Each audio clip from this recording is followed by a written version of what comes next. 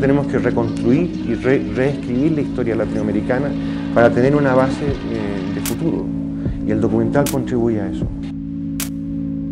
El problema de la violencia no es un problema que lo impongamos nosotros. El problema de la violencia es algo que no se impone el régimen. El documental es contrainformación. El documental siempre tendrá un costado subversivo y un costado mm, marginal también.